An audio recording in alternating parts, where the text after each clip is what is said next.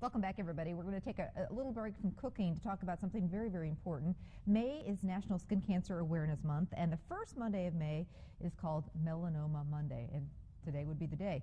Uh, it's a, a, day that's sponsored by the American Academy of Dermatology, and it helps raise awareness, uh, getting people to, um, you know, uh, think about it, uh, uh, think about, you know, uh, proper sunscreen, getting in to check things out if you're worried about something. And Dr. Betsy Wernley is here from Dermatology Associates to talk about melanoma and skin cancer and all that sorts of stuff. So good morning. Good morning. Thanks for having me. Thanks for being here.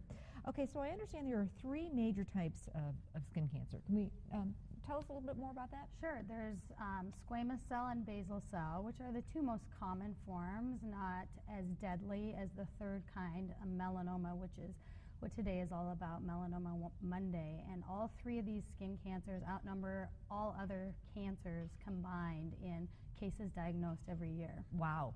It's one of those things, too, where if you catch it early, it can make a huge difference, correct? Absolutely. With melanoma, it is the deadly skin cancer. So if you wait too long, it can literally kill you. But if you catch it early enough, there's actually a 91% survival rate. So that's a really good good news for patients. And that's where you guys come in. Um, so, uh, what is melanoma? Um, and uh, you know, how would you know if you know you had something on your skin that you should be worried about?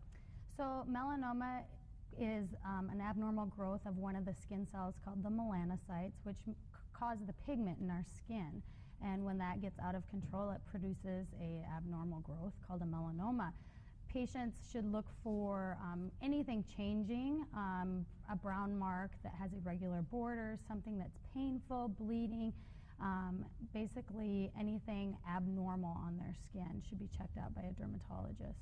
Uh, bleeding, you say, if there's a bleeding, what about moles? I think that we all have moles, and how do you know if that's just, you know, an okay one or if it needs to be checked out?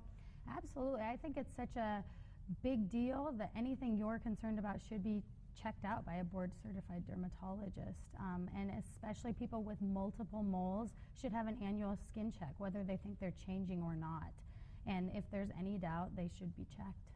A big uh, uh, annual run, uh, melanoma run and walk coming up, um, sponsored by Dermatology Associates. Can you tell us a little bit about that? Yeah, we're really excited to be the major sponsor for Ann's Hope. It's a melanoma walk and run. I think it's a 3K walk and a 5K run and it's on May 19th. You can register online. It should be a lot of fun. It's at the Milwaukee Zoo, and all proceeds go to melanoma research and increase in education. It is the most underfunded cancer out there, so we need a lot more help with uh, funding. So that's a way to help and go out and get involved and stay active with your family. Yeah, the weather's uh, finally getting nice. Uh, just get out there and, it, like you say, a walk at the zoo. It sounds like a wonderful Absolutely. afternoon, all for a great cause.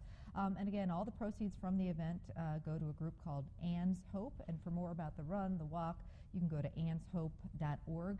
Uh, if you are concerned about a mole or just something on your skin that just you know, any kind of concerns, it's, it's better to be, you know, uh, safe rather than sorry. As you said, if you catch it early, what a difference it makes. Absolutely. It makes a difference in life or death sometimes.